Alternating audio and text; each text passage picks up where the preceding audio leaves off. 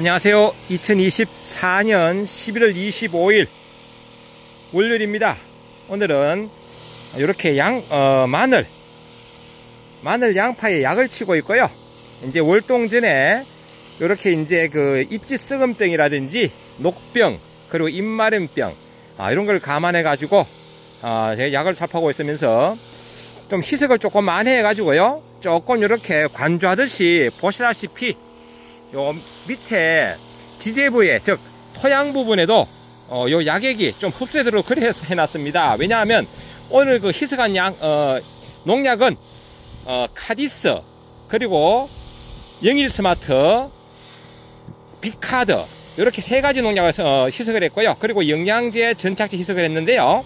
이렇게 이제 위에는 살포를 하고 밑에는 남는 부분들은 이렇게 그 땅 속으로도 약액이 좀 스며 들어감으로 해서 이 카리스 같은 경우는 흑색썩음균핵병도 등록이 되어 있고요. 그리고 스미총 같은 경우는 그, 아, 잠깐, 그 비카드 같은 경우는 그 고자리 파리에도 이렇게 관주를 하면 효과가 좋습니다. 그래서 이렇게 물 주듯이 이렇게 관주를 해버리면요. 예, 분무기를 이렇게 주면 주기 편합니다. 요 구멍이 작기 때문에 그냥 그 조리로 물조리로 준다든지 이러면 좀 흐르, 뭐, 흐르, 흘러내리기 때문에 손실이 많은데 이렇게 분무기를 하게 되면 어, 조금 더 그 약액이 좀 허실이 좀 적고 이렇게 흡수가 됩니다. 이렇게 예, 해줌을 해가지고 이제 저는 요 바짝만을 8월달에 했거든요. 그래서 그 뭐 고자리 팔이라든지 이런 부분도 걱정이 되고 제가 바짝만 할 때 후창 입제를 좀 뿌렸지만은 흑색성은 균핵병도 이렇게 하면 또 추가로 또 방지가 되니까 이렇게 일, 어, 일거양득 이렇게 겸해서 제가 그 살포를 합니다. 좀 시끄러우니까 잠깐 분무기 끄고자 설명을 마저 할게요. 예, 오늘 어, 11월 25일 월요일이고요. 아유, 대부분 조용하네요. 파, 배터리 전동 분무기도 아, 제법 시끄럽습니다. 예, 보시다시피 이렇게 약액을 살포하고요. 특히 이렇게 마늘이나 양파나 파 이런 것들은 좀 전착제가 혼용이 돼야 됩니다. 안 하면 약액이 잘 묻지를 않아요. 묻지를 왜 흘려내리기 때문에 고루 묻지를 않는다. 이런 말씀 먼저 드리고 음, 제가 오늘 살포한 약은 좀 이따 보여드리겠습니다. 보여드리고 어, 우선 오늘 드릴 말씀은 이제 마늘이나 양파나 아, 뭐 그 같은 백각과 작물이 돼가지고요. 뭐저 쪽파도 마찬가지. 주로 많이 생기는 병이 녹균병, 녹병, 입마름병, 그리고 흑색 썩은 균핵병, 그리고 충으로는 고자리, 파리, 뿌리, 응애, 그리고 그, 뭐, 이벌레도 있고요. 어, 그, 파 이벌레, 그리고 또 총체벌레도 있습니다. 그래서 오늘 그, 제가 한번 설명드리는 길에 마늘에 주로 생기는 그 병 다섯 가지, 그리고 마늘에 주로 생기는 충 다섯 가지, 이렇게 해서 주로 사용하는 농약은 어떤 것이 있는가? 아, 제가 농약을 농협에서 한 35년간 방제 처방 그리고 뭐 판매 겸하면서 영농지도 또 현장지도까지 해봐, 해, 해본, 해본 경험이 있기 때문에 어, 아울러 농약 설명까지 한번 같이 한번 드려보도록 하겠습니다. 이제 이렇게 이제 그 조만간에 날씨가 추워지면 이제 부직포를 덮어야 되는데요. 부직포 덮기 전에 필히 해야 될 것. 첫째, 제초 작업. 풀을 뽑아야 됩니다. 이렇게 송송으로 작은 미세한 풀들요. 요게 지금은 이렇게 뿌리가 아주 약한데요. 요거 좀 있으면 뿌리가 되게 커집니다. 그래 봄에 뽑으려면요. 아, 뿌리가 뽑힐 때 마늘 뿌리도 같이 건드린다. 그렇기 때문에 어, 부지포를 듣기 전에 필히 첫 번째 제초 작업 하셔야 되고요. 둘째 아, 혹시나 가물다면 물주기를 너무 많이 하지 말고요. 서리빨 때문에 적당히 토양 수분이 함유될 정도만 어, 물주기를 해주셔야 된다. 둘째 그리고 셋째 아, 필요해줘야 될 게 뭐냐 병해충 방지입니다. 특히 마늘은 잎집 썩은병, 잎집 썩은병이라고 이렇게 그 잎이 있고요. 이렇게 그 잎줄기라 그러죠. 사실 줄기도 아닙니다. 왜냐하면 잎이 변형된 거기 때문에 그냥 잎집이라고 합니다. 흔히 하는 말로 줄기 부분, 이 부분이 썩을 수 있는 그 잎집 썩은병이 있는데요. 요걸 방비하기 위해서 항생제 계통으로 어, 발리다마신 A 계통에 오늘의 오늘은 영일 스마트를 제가 살포했는데 좀 더 약은 약은 보여드릴게요. 자, 그러면 주로 많이 생기는 병에 대해서 또 많이 사용하는 농약을 제가 한번 줄줄 한번 읊어보겠습니다. 그리고 이 약 이름 말하면요. 꼭 무슨 외국말, 영어 이야기하는 것 같아요. 그래서 이 부분은 제가 예전처럼 정리를 해가지고 댓글 상단에다가 고정해 놓을 테니까요. 한번 댓글을 클릭하셔가지고 제일 위에 있는 상단의 댓글을 한번 읽어보시면 좀 도움이 될 겁니다. 왜 제가 이런 그 글을 올리는가 하면 그 보시고 어 이거 보니까 이거는 입마름병도 등록돼 있고 노병도 등록돼 있네. 어두 가지가 되는구나. 아 그러면 나는 이것을 구입해야 되겠구나. 아, 이렇게 판단하시면 될 겁니다. 왜냐하면 제가 어떤 약을 보여드리면 꼭 광고성 같아가지고 혹시 오해를 하시는데요. 아직까지 저에게 광고는 들어오지 않습니다. 혹시 오해는 하지 마시기 바랍니다. 아, 제 경험 그리고 제가 그동안에 어, 배운 그런 공부들 같이 펼쳐놓는 놓는 거고 또 텃밭 작물 기농, 신기농 아, 이런 분들에게 도움을 드리고자 제가 아, 설명을 드리는 겁니다. 첫째 그 마늘에 많이 생기는 병은 녹병입니다. 아, 사용하는 약은 뭐 주로 주로 사용하는 겁니다. 마늘이나 양파는 등록된 되게 많아요. 왜냐하면 우리가 그 채소 중에서 많이 사, 어, 재배하는 게 마늘, 양파, 고추, 배추, 무, 참깨 이런 들깨 이런 것들은 그 재배하는 면적이 많다 보니까 농약 회사에 등록된 약이 대단히 많습니다. 그 중에 제가 단언하기 그렇고 주로 많이 사용한 것만 제가 읊어드립니다. 이해 좀그 부분 이해 바랍니다. 어, 내가 사용한 것이 왜 안 나올까?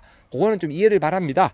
어, 주로 사용하는 것이 어, 마늘 녹병에는요 카디스 어, 작용기작 다 2입니다. 제가 그 댓글에는 작용기작까지 다 설명해 놓을게요. 갈로 열고 작용기작 뭐 가나 다라 해가지고 설명해 놓을게요. 그리고 프린트, 살림꾼, 삼진왕 어, 그리고 프로겐, 뭐, 보가드 프로겐 같죠? 예, 요거, 어, 녹병이 등록되어 있고요. 그리고 무름병. 무름병은 이게 세균성입니다. 그러니까 옥솔린산의 뭐 일품이라든지, 어, 발리다, 발리다마이신 A 계통의 영일 스마트. 제가 오늘 사용, 사용했는 겁니다.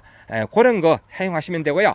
그리고 또 주로 말씀드린 것이 잎마름병, 잎끝이 노랗게 되는 잎마름병입니다. 잎마름병에는 뭐 카디스, 벨리스 플러스, 뭐 프린트 에이플 같은 겁니다. 프린트 에이플, 그리고 카브리오 A, 사파이어, 또 그리고 녹병에 썼던 그 어, 살림꾼, 트리오민, 삼진왕, 그리고 녹, 어, 녹균약 캐스팅, 예, 캐스팅, 캐스팅은 잘 아다시피 포룸하고 카브리오 합제입니다. 그리고 보호살균제 계통으로 작용기작 카 계통으로요. 어, 베프란, 안트라콜, 다코닐, 머판, 벨쿠터 아, 이런 게 있고요. 그리고 이제 입지 썩은병, 입지 썩은병 방금 고르기겠죠. 이런 요 그 밑에 부분이 입줄기 부분입니다. 입집. 그 벼로 말하면 문고병 택입니다. 문고병, 입집물이 마른병, 문고병이죠. 예, 이렇게 입지 썩은병도 항생제 계통으로 약을 처방해야 되는데 에, 이제 뭐 방범대 그리고 브라마이신 아니다. 방범대가 아 방범대만 등록되어 있네. 방범대. 아, 방범대는 참고로 브라마이신하고 우리가 알고 있는 용마루. 두 가지 합제입니다. 방범대 그리고 방금 설명드린 용마루. 발리다마이신 A계통의 용마루. 요거는 물음병에도 제가 어, 어, 물림병에 등록되는 영일 스마트하고 같은 약입니다. 입상이냐 수용제냐 그 차이입니다 참고로.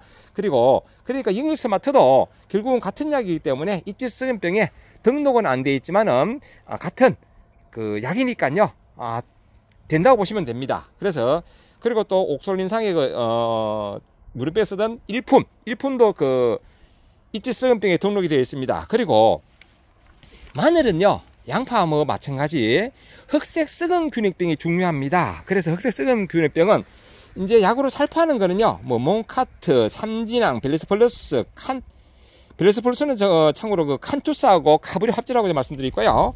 그리고 사파이어, 어, 곰팡이약이죠. 사파이어 그리고 살림꾼. 그리고 입제로는요. 뭐 균핵탄, 실바코, 암빌 그리고 어, 핵폭탄. 그리고 제가 여기서 어, 미리 그 팔을 때 바짝 말을 때 사용했던 후창 입제. 아, 저는 참고로 후창 입제 미리 넣었습니다. 후창 입제는 마늘, 양파 다 등록되어 있습니다. 흑색 썩은 균핵병에. 그리고 카디스 입제. 이런 게 등록되어 있고요. 그리고 이제 충으로는 어, 주로 많이 생기는 게 이제 고자리 파리, 그리고 구근 선충, 응애, 뿌령입니다. 뿌령에 파이벌레, 파총체벌레입니다. 예, 이런 게 등록 어, 있는데 등록된 약으로는 고자의 파리로는 이제 그 입제로는 뭐 파단, 마샬, 데프콘 그리고 어, 샤리퍼, 샤리퍼 그리고 약으로 치는 거는요. 뭐 마샬하고 같은 겁니다. 뭐 카보슬판 성분인데요. 어, 말루퍼, 예, 말루퍼하고 마샬 갖다 보시면 됩니다. 어, 말루퍼는 요즘 그 세잡내들도 좀 사용하시죠. 세 잡을 때 말루퍼. 그리고 그 살포하는 게 파밤탄, 나방약, 그리고 팬텀, 직격탄, 그리고 볼리암 타고 있습니다. 볼리암 타고. 볼리암 타고는 뿌리형에도 그 등록이 돼 있어요. 참고로. 예, 그리고 이제 국은 선충으로는 입제로 모캡 좀 오래 갑니다. 큐가. 그리고 샤리프. 예, 두 가지가 있고요. 또 뿌리형애가 아참 국은 선충이 어, 우선 두 가지만 기억나네요. 그리고 뿌리응에는 어, 좀 많이 사용하죠. 좀 냄새 강합니다. 6인 계통의 사이메트. 예, 여기에 뿌리형에 등록되어 있고요. 그리고 스퍽. 그리고 데프콘. 예, 그거로 등록되어 있습니다. 살 파는 거는요. 그 고추에 사용하는 그 고추 총차하고 그 참은쟁에 사용하는 어, 다트롤. 다트롤이 또 뿌리형에 등록되어 있습니다. 그리고 어, 유기인계 1비 어, 작용기작 1비에 스미촌 유제 이것도 역시나 관주하면 됩니다. 스미촌 그리고 직격탄 볼리암 타고 조금 전에 같이 등록되어 있다고 말씀드렸고요. 그리고 이제 파 이빨래, 파 잎도, 어, 이빨래가 마늘이 또 끌고 먹거든요. 그렇기 때문에 그거는 조금 전에 설명드린 비카드나 그리고 말루포, 예, 말루포, 카보설판의 말루포가 역시나 파 이빨래 등록되어 있습니다. 그리고 우리가 이제 흔히 간과하는 게 그 파총체벌레입니다. 파총체벌레는 언제 생기는가 하면 우리가 이제 모심기 하기 바쁘고 막 한참 뭐 고추 심기 바쁘고 막 그럴 때 사용하는 거거든요. 그럴 때 생기는 게 뭐냐? 이제 봄이 되면 생기는 게 파총체벌레입니다. 파총체벌레는 피카드가 등록되어 있습니다. 피카드. 예, 피카드 사용하시면 되고요. 예, 그렇게 제가 여러 가지 한번 제가 읊었는데요. 너무 빨리 읊으니까 이해를 못 하시죠? 예, 이해가 안 될 겁니다. 그래서 제가 요거는 좀 번거롭더라도 제가 정리를 해가지고 그 그 댓글에 상단에도 고정해 놓을 테니까 아, 고래 참고 바랍니다. 아, 우선 제가 오늘 사용했는 약 어, 보여드리기로 하고 그리고 궁금하신 거는 그렇게 질문하시면 되겠습니다. 저는 이제 이렇게 이제 살포해 놨으니까요. 이제는 날씨가 추우면 언제 부지포를 듣느냐 온도가 최하 온도가 6도 이하로 떨어지고 영하, 영하 6도 이하로 떨어지고 아니면 낮 온도도 벌써 영하로 떨어진다. 그러면 제가 부지포를 덮을 계획입니다. 양파는 덮, 그냥 덮을 거고요. 아, 마늘은 제가 이렇게 강선할 때를 좀 위에 올렸습니다. 왜냐하면 이렇게 자랐는데 덮으면 얘가 또 눌리지거든요. 그래서 아, 저는 이렇게 강선할 때 꽂아놨고요. 덮어도 사실은 관계가 없습니다. 왜? 이게 잎집으로 돼 있지 잎줄기가 아니거든요. 그 뿌리, 저 줄기가 부러질 염려가 없습니다. 그래서 그냥 덮어도 큰, 큰 문제는 없습니다. 하지만 저는 강선할 때가 있으니까 이렇게 활용해서 할 때를 꽂아가지고 부직포를 덮을 계획이다라는 말씀드리고 제가 오늘 사용했는 농약 한번 보여드리도록 하겠습니다. 영양제까지. 아, 제가 사용했는 게 보여드리는 거지 굳이 뭐 따라하고 할 필요는 없는데 혹시 참고하시기 바랍니다. 아, 저는 약을 좀 많이 섞는 편입니다. 아, 왜냐하면 근데 많은 건 아니고요. 이거 빼놓고 나면 기본적으로 요 약은 세 가지다. 보시다시피 발리다마이신 A 작용기작 A3번입니다. A3번 살균제고요. 요거는 항생제, 즉 세균성 약을 어, 방작용입니다. 그렇게 여기 무름병이 등록되어 있습니다. 무름병 등록되어 있고 아까 발리다마이신 A계통에 용마루가 그 이지성은병에 등록되어 있다고 그랬잖아요. 가, 같은 성분입니다. 발리다마이신 A. 그래서 요건 입상으로 되어 있고 어, 용마루는 수용제로 되어 있고 예, 그렇게 해서 제가 요거를 사용을 했고요. 그러면 무름병이라든지 그 입지 특히 입지 썩은병 때문에 이걸 사용을 했고요. 그리고 녹병하고 어, 입마른병 등록되어 있는 카디스 그리고 요게 또 흑색 썩은균역병도 등록되어 있습니다. 그래서 조금 전에 보, 시다시피 잎에 살포라고 어, 남는 약액은 관주하듯이 밑에 좀 스며들어가도록 그렇게 했습니다. 그리고 어, 여기 뭐 총체벌레 등록되어 있지만 실질적으로 요게 카디스 이건 작용기작이 아, 참, 참고로 카디스는요 제가 정리해 주겠지만은 작용기작이 보시다시피 다 2입니다. 보이죠? 다 2. 다이 예, 다 이 작용 그리고 카디스 액상 사용했고요. 그리고 피카드 요건 더 등록되어 있는 건 뭐 파총체벌레라든지 등록되어 있지만은 요게 관주를 했을 경우에 관주를 했을 경우에 고자리 파리의 효과가 있습니다. 고자리 파리에. 그래서 여기 작용 기작은 4A입니다. 4A. 이렇게 살충제 4A. 예, 요거 어, 세 가지를 혼용을 했고요. 아, 이렇게 여러 가지 혼용해도 됩니까? 라고 묻는 분들 계신데요. 저는 혼용을 했습니다. 같은 질문은 안 하시면 감사하겠고요. 그리고 이항 살포하는 거 24가지 성분 들어가 있는 SB 미네랄. 이게 없으면요. 어, 집에 있는 그 아미노산 계통의 그런 살균제 아니면 사정복비 그렇게 활용, 활용하시면 됩니다. 저는 이 성분이 여러 가지 되어 있고 뭐 뿌리 밝은냐 여러 가지 되어 있어가지고 겸사겸사 참고로 농협에 판매합니다. 이 농협 케미칼에서 공급하는 SB 미네랄 이렇게 여기 만들기는 정인바이오인가 아마 그럴 겁니다.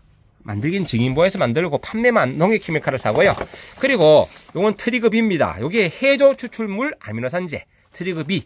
예, 요거는 그 트리그비 요거는 어, 왜 했는가 하면 요즘 이제 아침에 온도가 영하권 떨어집니다. 그래서 이 양이면 좀 회복도 시키면서 야, 좀 효과가 좋, 좋도록 그렇게 트리그비를 혼용을 했다. 요거는 미국에 수입한 겁니다. 트리그비 냉해 예방이나 피해 감소 쭉쭉쭉쭉 내려가서 이렇게 식물의 활력을 증대할 때 이렇게 사용을 한다. 그리고 이제 전착제는 그 마늘이나 양파는 잎이 매끄러워 가지고 약액이 잘 안 묻습니다. 그렇기 때문에 뭐를 사용했다? 이렇게 그 마쿠피카 요거 혼용을 해놨습니다. 요건 전착제입니다.